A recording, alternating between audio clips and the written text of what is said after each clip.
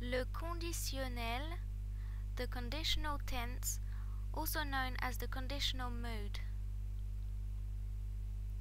When is the conditional tense used? The conditional tense is used to talk about ambitions, such as, for example, what you'd like to do when you're older, as well as what would happen if something else happened.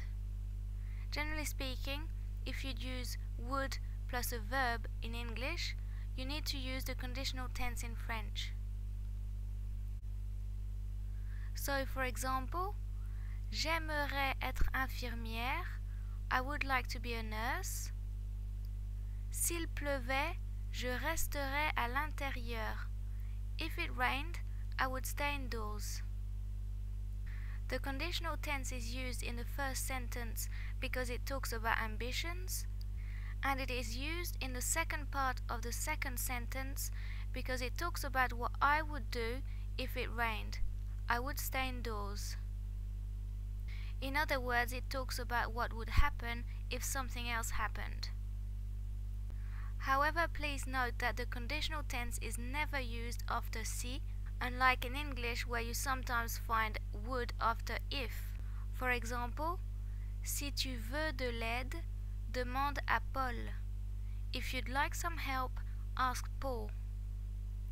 In this example, the present tense was used instead of the conditional, the way to work out which tense to use after si is to work out another way of saying what you want in English without saying would. So, for example, we could say, if you want some help, ask Paul, instead of if you'd like some help, ask Paul. Want is in the present tense and doesn't change the meaning, so the present tense is what we will use in this instance because we can't use the conditional after si. How is the conditional tense formed? Most verbs in the conditional tense are regular and all have the same endings regardless of whether they are in the first, second, or third group. Regular verbs are formed by taking the infinitive and adding the appropriate ending. As a side note, for those of you who are familiar with the imperfect and future tenses, the conditional is basically formed by adding the imperfect endings to the future stems. As the stems are identical in the future and in the conditional, and the endings are identical in the imperfect and the conditional. So here are the conditional tense endings ais, ais, ait, ions, iez, aient. As you can see, the conditional tense endings are identical to the imperfect tense endings.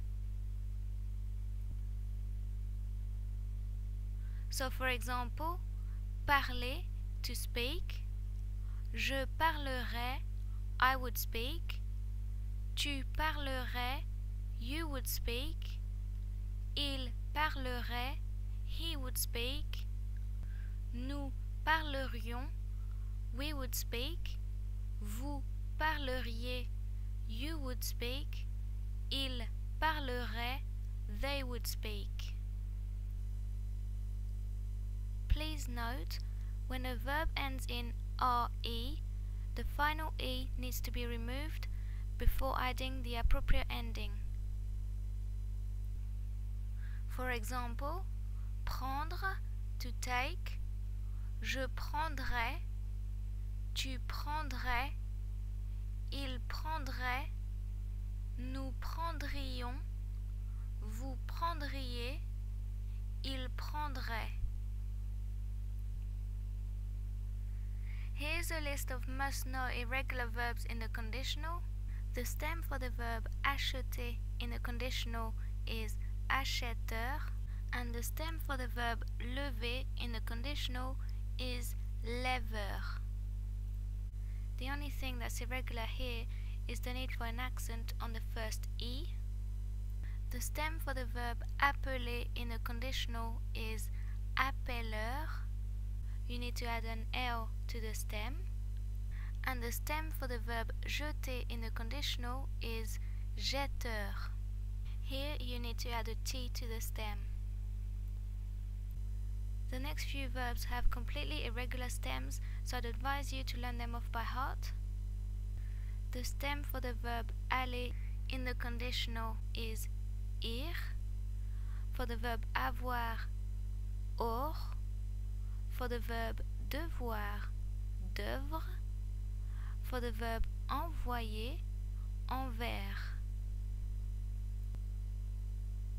The stem for the verb essayer in the conditional is essayeur. For the verb être, sœur. For the verb faire, feur.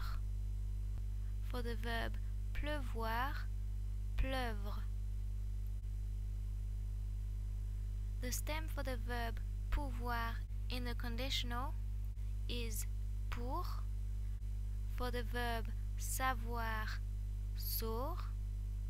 For the verb valoir, vaudre. And for the verb venir, viendre.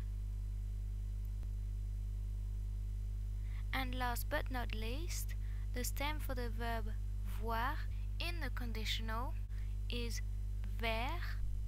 and for the verb vouloir, voudre. Note that verbs in the future tense use the same stems, so it's a good idea to learn them by heart. Here's a little exercise. Pause the video and try filling in the blanks. I'll give you the answers in a few seconds.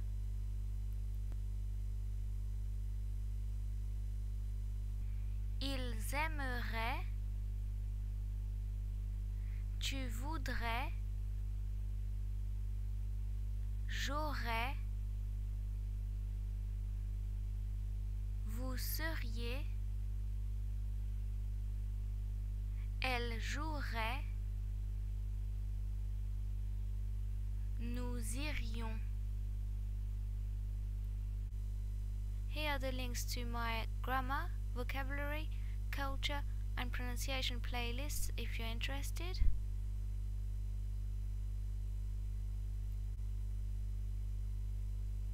This is the end of the video. If you have any questions, requests, or suggestions, please leave a comment below.